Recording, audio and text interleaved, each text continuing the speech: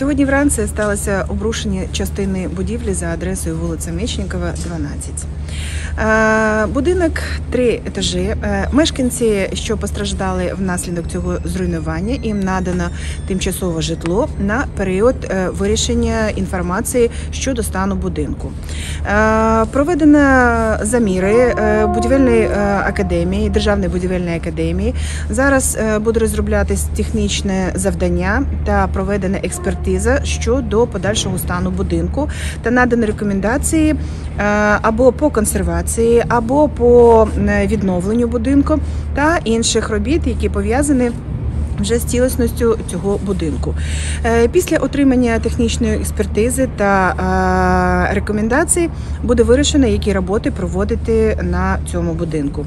Ще раз підкреслюю, що мешканцям, які не мали змоги е, залишитись у родичів або не мали іншого житла, було надане приміщення для тимчасового перебування. Після закінчення протиаварійних робіт мешканцям будуть надані або інші приміщення, або вони повернуться додому.